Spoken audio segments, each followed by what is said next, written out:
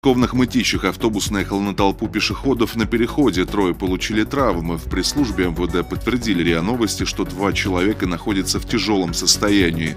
Как отметили в сообществе Мытища Official, во ВКонтакте водитель не притормозил перед пешеходным переходом и переехал двоих человек. В полиции заявили, что все пострадавшие – женщины.